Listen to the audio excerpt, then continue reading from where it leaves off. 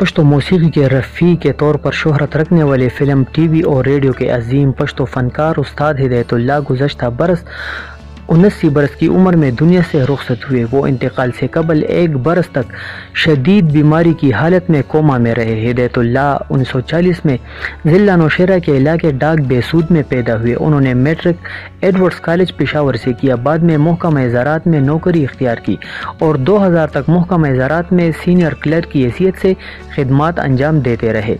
हिदायतुल्ला को बचपन से ही गुलकारी का शौक था। वो अक्सर अवकात स्कूल में इस की फरमाइश पर गाने गाया करते थे, ताहम उनकी फ़नी कैरियर का बाकायदा आगाज़ साठ के अशरे में उस वक्त हुआ जब उन्होंने रेडियो पाकिस्तान के लिए गीत रिकॉर्ड करवाना शुरू किए।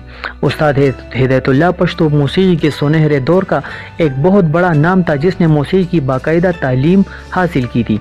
हिदायतुल्ला न सिर्फ़ अजीम भारतीय गुलकार मोहम्मद रफ़ी से मुतासर थे, बल्कि उनकी सुरीली आवाज़ भी उन्हीं की तरह थी। यही वजह है कि वो बाद में पश्तो के मोहम्मद रफ़ी के नाम से मशहूर हुए।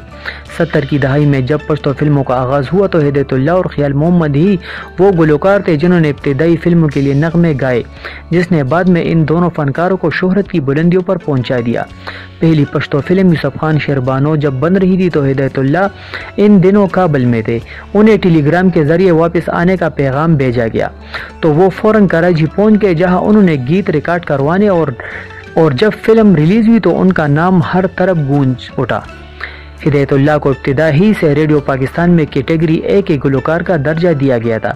हालाँकि शुरू में हर फनकार को बी और सी कैटेगरी में रखा जाता है और एक तरीक़ाकार से गुजरने के बाद उनको अहम कैटेगरी दी जाती है, लेकिन चूँकि वो मेहनती और अपने काम में मुखलिस थे, इसी वजह से उन्हें शुरू में ही ए कैटेगरी में रखा गया। उस्ताद हिदायतुल्ला ने तकरीबन 40 साल पर मुहित अपने फ़नी कैरियर में कई एजाज़ हासिल किए। उन्हें सदारती एवार्ड बर हसन कारकर्दगी से भी नवाजा गया। अपने फ़नी कैरियर के दौरान उन्होंने कई अरब और यूरोपीय ममालिक के दौरे किए और अपने मद्दाहों से दाद हासिल की।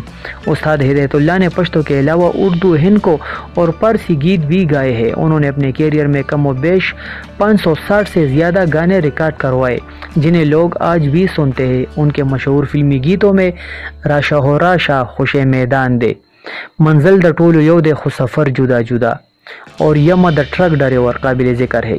हिदायतुल्ला ने दो शादियाँ की जिनसे उनकी तीन बेटियाँ और दो बेटे हैं। मरहूम के एक दोस्त और सीनियर एंकर फरसन सैयद हसन अली शाह का कहना है कि हिदायतुल्ला इंतहाई हंसमुख और नफीस इंसान थे।